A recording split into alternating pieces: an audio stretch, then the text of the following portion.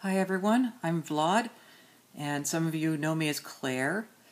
So this is my first video for The Beauty Within, and um, so uh, I was asked to do an introduction rather than talk about this week's topic, which is college, and uh, that's fine because my college career was um, uh, long and drawn out in the sense that it lasted four years, during which I only got three years worth of credits, and I burned out due to chronic illness that didn't entirely, well, my burnout didn't entirely have to do with my eyes or the fact that there wasn't a huge amount of support for disabled students, although I think they did a pretty good job in my case, so I think it was mostly I was just too sick. Okay, so I've got that topic out of the way. I, I would talk more on the subject, but um, you want to know more about me. So um, I am 43, I live in Seattle. And I don't know if you can tell, but I'm I'm doing this video on an iPad, which is just shaking around a lot because um, the camera is a ton of better than my computer's uh, webcam, which totally, totally sucks. Plus, this has the advantage of allowing me to show off the messy existence of my apartment, but more importantly, stuff like my my stuffies and um, oh, my Angry Birds one. That's that one I love because my sister gave it to me for Christmas, and it's awesome because you press it. Oh, and she gave me an even better one. Um, okay, I guess you guys can probably tell I'm a bit of a dork. Um, she gave me this really awesome Dalek for, oh, you can, you can see even more of the mess in my room. Um, okay, so here's this Dalek. I'm not sure if it'll talk because the button kind of wore out really fast, but it's in its, it's in its, you know, keep its, what do you call it, collectibles case? Anyway, if you press this button, I think it'll, oops, maybe it's down here. Okay, here we go. Nope, it doesn't. It's supposed to say, oh, it totally won't do it. I'd have to get a fan out to him to, demonstrate it, but it's supposed to say, you would make a good Dalek, or exterminate. And um, I've been into Doctor Who since I was a kid. Um, like, okay, uh, this is my, let's see if you can see it out here, my backyard. I live in a condo.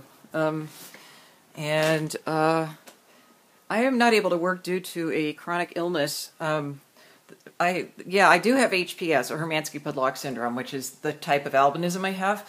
But that's not actually my main health issue right now because I don't have PF yet. Um, although theoretically I will because I have HPS one.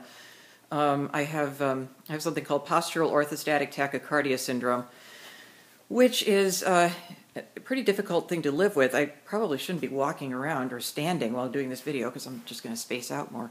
Um, and uh, let's see, what else is there about me to tell you? Oh, really good stuff. Um, I mean, because I think it's fun.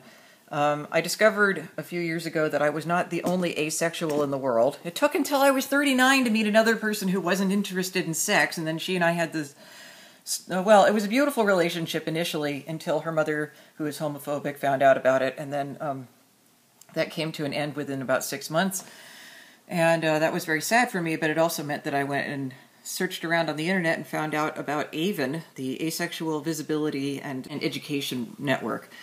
And then later I got involved in things like Asexual Awareness Week, and uh, I, I, I, marched with PFLAG in the um, 2000 what is it, 2010 Pride, no, it was 2011 Seattle Pride March. Uh, and I, I held a, an asexual flag. Oh yeah, I should show you. I have, I have like all this asexual pride stuff because I was supposed to organize one for this year. Oh, you can't see anything in the dark here, but uh, so I'll show you in the light. So I have all these in the process of picking up this bag with my buttons, I ended up turning off the iPad because I got my thumb down here holding it. Anyway, it says asexual. This is the asexual flag, uh, black, gray, white, and purple. I don't know if it renders purple well on the screen, but anyway, that's our, our pride colors. Um, which is why, although I'm wearing my Dare to be Rare t-shirt, which has black and white, I am also wearing a purple, well, it's kind of pale purple.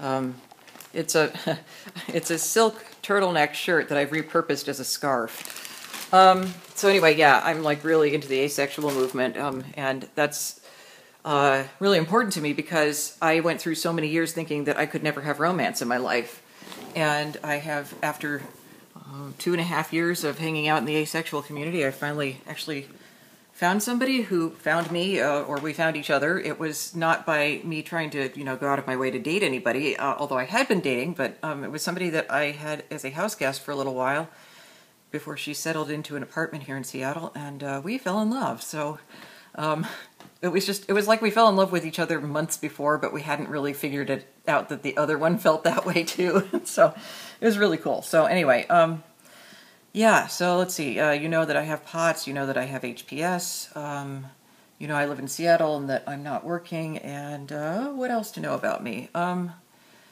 oh, uh, and that I'm LGD, LGBT friendly. Um, and the Dare to Be Rare t-shirts, um, I should probably put a link in my video so you guys can know where to buy them because they're cool. Um, and I think they're like all 100% cotton, so they're really comfy. This one's a V-neck. Um, you can't tell because this scarf or this shirt I'm wearing underneath it, but uh, but yeah, it's a, it's like a V-neck, um, and it's a nice V-neck because it's not like a super deep cut one. So I, I like it very much. Um, uh, and um, okay, I guess that's about it because I know that I'm just going to start rambling. So um, I will. I guess I'll see you guys next week with whatever topic we come up with next week. Whoa, I totally forgot. Um, yeah, big thing about me. I'm autistic, so my social skills aren't that great. Um, so I've been like, and I can't like use my eyes to try to observe people and um, at least learn body language that way, which is what a lot of other autistics have done. They like watch social interactions and break them down into the components and stuff. So I had a really hard time um, learning social skills. Um, Anyway, the reason I tacked this on at the end to mention this is because I was like, oh, I've told you everything about me there is to know. It's like, this is the one of the biggest things to know about me. So, um, yeah, I, I have to live with that too. Uh, and it kind of sucks. But, oh well. I mean, it's, uh, I don't know. I'm, I'm sort of philosophical about the whole thing. It's, um, it's not very convenient to not be able to read people very well. But on the other hand, um, I'm grateful that I've gotten to know a lot of really cool people who have like you know, have, have different brain styles, I guess you could say, than um, not brain styles, but brain. It's not the structure of the brain's the same. It's like it functions different. Um, but anyway, so you know, it's uh, we're all valid human beings, and well, this channel is, you know, it's about the beauty within, and I guess the beauty within, you know, ought to be able to shine through anything. So autism or or um, well, the reason I forgot was because I'm I have POTS, like I mentioned before, um, and it kind of makes me spacey, so I space stuff out. Um, yeah, okay. Well, I'm gonna I'm gonna see if I can uh, get this uh, uploaded today, and um, uh, thanks for welcoming me to the channel, everyone.